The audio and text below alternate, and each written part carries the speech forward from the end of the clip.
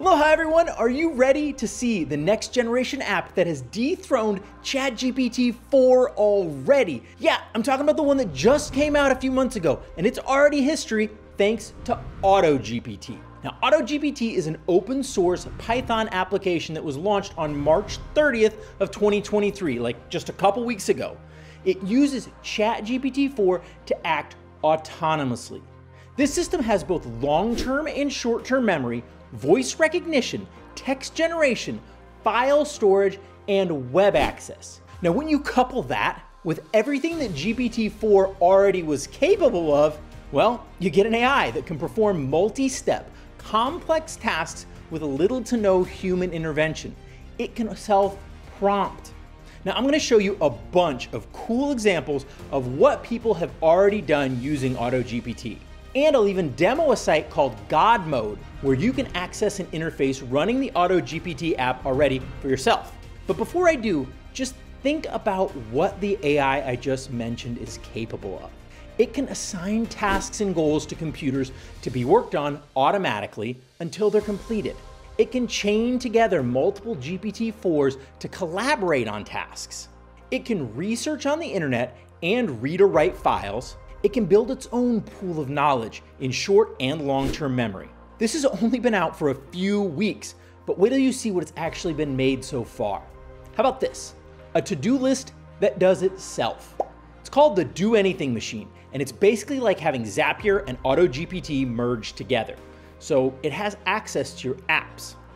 They tested it out by asking it to, quote, find the best person at Walmart for us to sell to, add them to our Notion CRM, and send out an outreach email. And it did the research. It added the contact. It wrote the email and it sent it out. You can see where this is going. Now this site here, this one's focused on coding. Its version of AutoGPT can debug, develop, test, and improve its own code. This guy right here, he was trying to have AutoGPT create an app for him. It recognized that it didn't have Node, Googled how to install Node, found a Stack Overflow article with a link, downloaded it, extracted it, and spawned a server. And he just sat back and watched the whole thing. Zero work. Anything from booking flights to ordering food and so much more just got completely automated. Customer service from an AI might be a little annoying, but it's a whole lot better than 30 minutes on hold. And very, very shortly, AutoGPT is going to be able to get the job done with its voice recognition. Heck, it might even be able to click the like and subscribe buttons for you. But since I haven't shown you yet how to access it, I guess you're going to have to do that the old school way this time. Mahalo, guys. On to God mode. Okay, so to access this site, you'll go to godmode.space. That'll pull it up. And just to show you guys this, I'm going to put in a test here real quick. Uh, it doesn't matter what I'm typing. But when you enter it, it's going to say due to high volume, you need to authenticate. So you can either enter your Google, GitHub, Twitter, or you can do an API key. I found that to be the most reliable way to do it. Yes, you're going to have to pay for your API calls, but you know how it is. It's 50 cents a dollar. It's not a whole lot of money. So I think it's worthwhile because you'll get the most reliable output from it. Okay. So to get your API key, you'll go to OpenAI. You can't do it at ChatGPT. You've got to go to the OpenAI backend and just click over here on the, your name. And right there, it's got view API keys. You click to create a new key, type in what you want to call it. As you can see, I've got one already called God mode there. Uh, but you type in your God mode, you hit create secret key, and it puts a key up. And then all you do is just go back, paste it in there, and you're starting. All right. I've already got that all set up over here. This one is already linked up. So this is the one that we're going to use to do some fun and do some testing. So my prompt that I'm gonna feed it is, I need to purchase a new computer for video editing. Please research the PCs that are out there and see what option would work best for Adobe Premiere that costs under $1,000. Now just to be clear, God Mode can't interact with your other apps like your email or your Twitter or anything like that. It only has the ability to do the research, the memory storage, the text outputs. And let's launch it. And immediately we'll suggest a few different main focuses. These are like the big topics that it's going to work on. It's also going to create subcategories within them of all the different steps it's going to take. But the big categories are suggested. Research the minimum system requirements for Adobe Premiere. Suggest identify PCs that meet or exceed the minimum requirements and cost under $1,000. Suggested compare the identified PCs based on their specifications, customer reviews, and price to determine the best option for video editing with Adobe Premiere. I can obviously add ex extra things if I want to on here, but that sounds like a pretty good list to me. So I'm gonna add, add, and add those three on there. And I'm gonna tell it to go ahead and launch. Now, as you can see on the left side here, it's gonna list the tasks. Below that, it's gonna list any files that it makes. So sometimes it'll actually make an output file that you'll get, like a text file you can download. But it's gonna say, let's search for the minimum requirements. And so the first command is to search on Google for minimum requirements. I approve that. And you'll see it's gonna keep updating on the left side here with all the different lists of everything as I go. Now, generally, each of these searches takes eh, 30 seconds, a minute, you know, something like that. So it's not a super fast process because there's so many steps.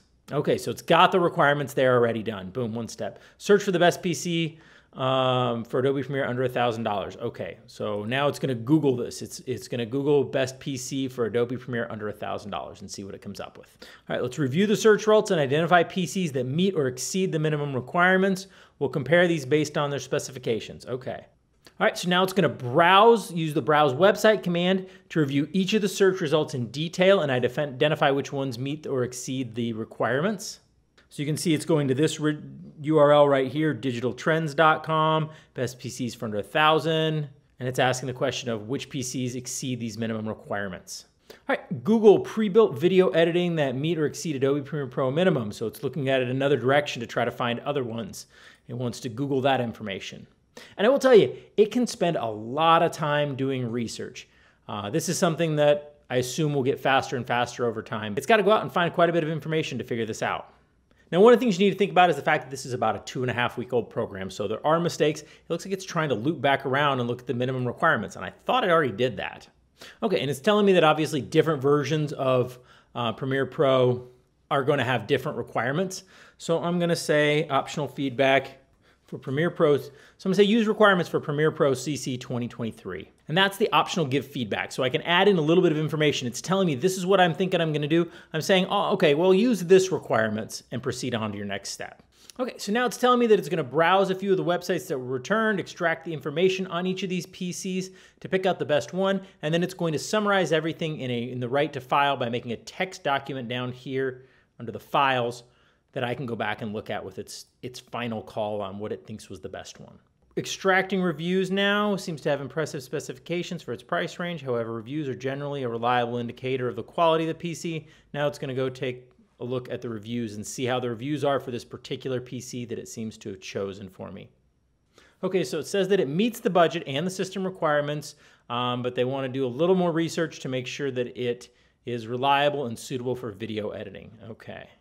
As you can see, it's good at stringing together a variety of different ideas to see how it can get there. When it runs into a problem, it usually goes a different route and looks for a different way to get the information it's looking for. All right, it's putting some more information into it, reading and writing out of that uh, custom reviews.txt. As you can see, we're down here in this bottom category finally. It looks like it's happy with the researching the minimum, identifying the PC that meets the requirements, comparing the identified PCs. And you can always click on these and get a little bit of a, for more information on what happened. Uh, what it actually did, what commands it actually ran. Pretty amazing. Let's create a new script for analyzing customer reviews, identifying the top two PCs. We can start with skeleton code that imports the necessary libraries and defines the key metrics we want to use for our analysis okay, a reasoning. By using a dedicated script for analysis, we can more easily modify the code and ensure that our analysis is consistent and repeatable. Additionally, using skeleton code will allow us to easily analyze the reviews by focusing on the key metrics you want to use. Amazing. It's doing all of this on its own.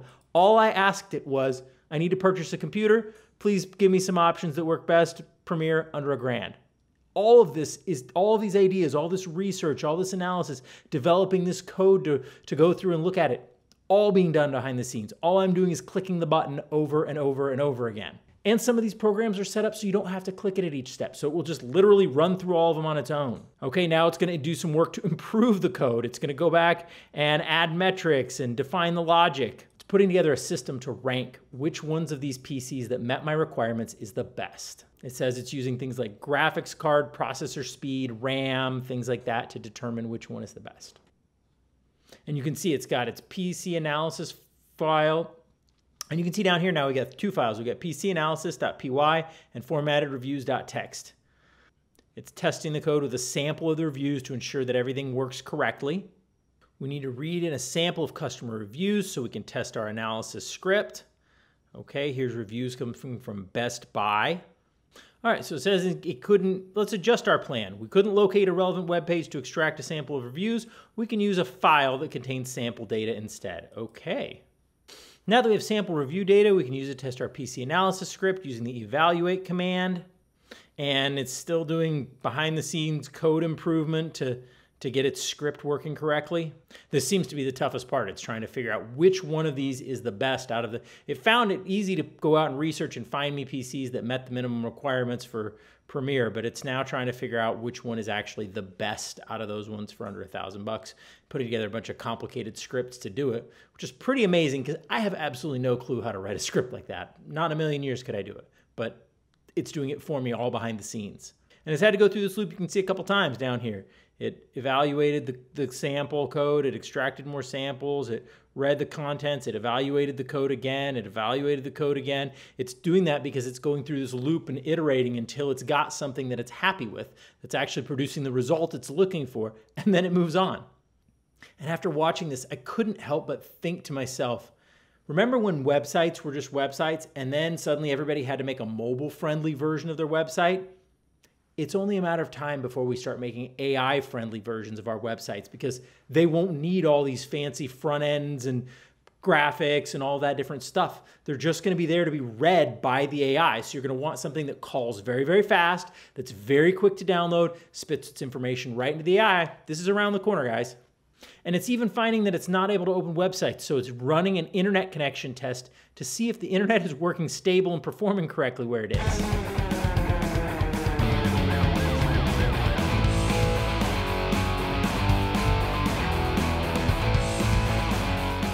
On and on and on and on and on.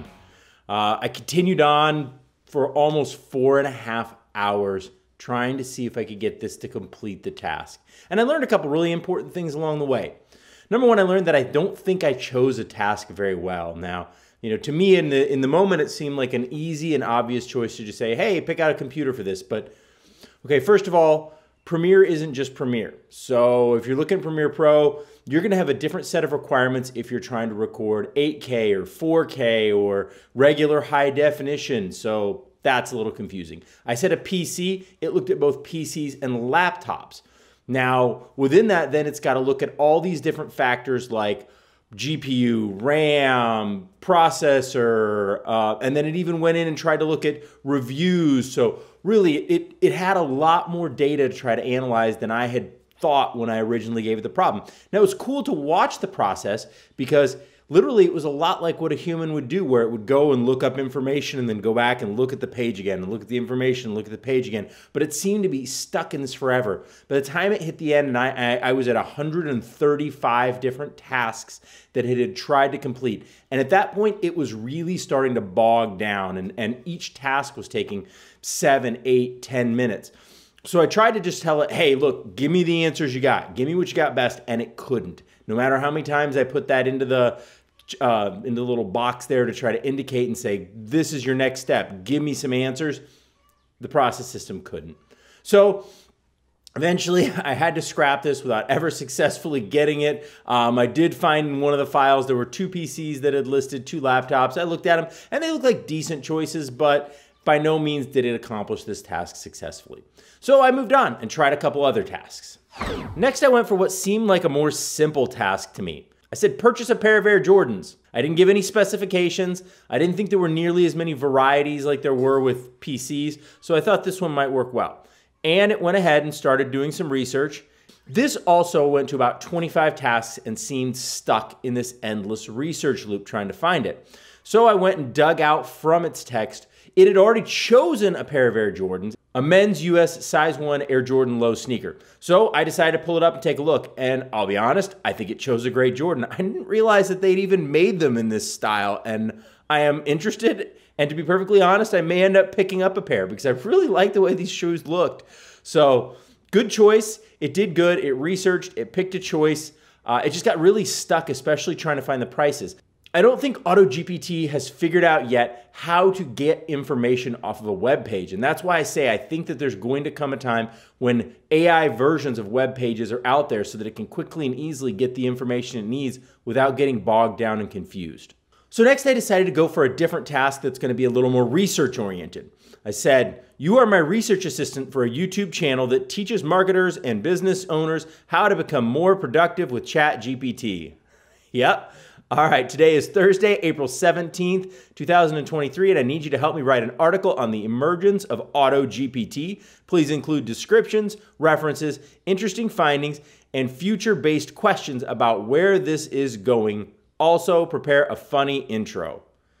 And it put together a couple basic tasks. It decided to conduct research on AutoGPT and its emergence in the field of marketing and business productivity. It also decided to compile a list of interesting findings and references related to AutoGPT, including its benefits and potential drawbacks. And finally, it decided to draft an article on the emergence of AutoGPT, including a funny intro, descriptions of AutoGPT, references, and future based questions about where this technology is headed. And that seemed like a pretty good list for me. So I let it go do its thing. Uh, this actually did complete. It took about 25 different steps and it completed. And this is what it gave me, which is part of the article. Now, fortunately, as it was going through, I was watching it and I saw where it looked like it popped up the entire article it was writing. So I copy and pasted it. And this is actually what it wrote.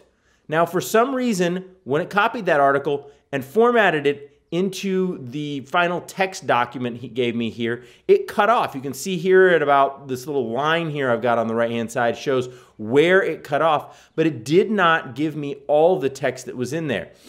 The article in my Word document clearly has some formatting issues. It's still using these backslash ends, which I think are a, some sort of a carriage return in um, JavaScript, not a coder. But either way, the final document cut off. It didn't give me everything that it was supposed to give me. Instead, it only gave me part of the article. But if you read this, it's a pretty darn good article. It did a good job of going out and researching AutoGPT. Considering this is a two week old app, it's brand new information. It's got to go out and search and find it. Obviously, none of this is in GPT-4's database. So it did a great job going out, researching, and putting together the article. Not so great on the whole putting together a funny intro. Uh, I don't I didn't even find anything that was an attempt at this by it, but well done on the research.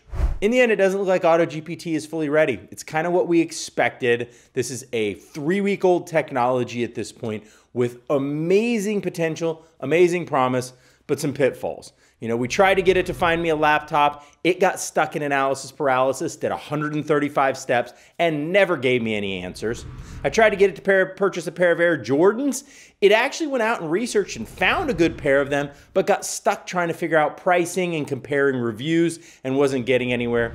And then I told it to write me an article. And that one, it did a much better job of researching, putting together and structuring the article, but it didn't give me the complete document. It cut off some of the text. Nonetheless, each time it did a great job of picking out the steps it needed to take.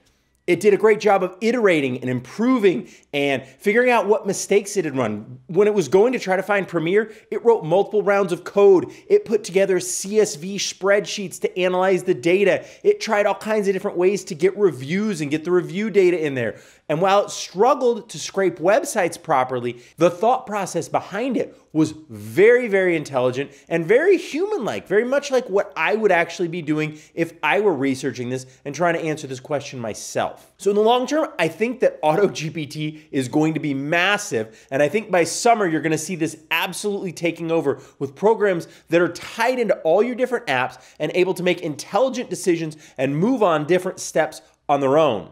Well, thank you guys again. If you did make it to this point, please make sure you click that like and subscribe buttons down below so we can share this with more people. And if you're going to attempt to access God mode yourself, you're going to need to have an OpenAI account, not just a Chat GPT account, but an OpenAI account. So in case that's something you're not familiar with, I'm going to go ahead and link you to that right up here.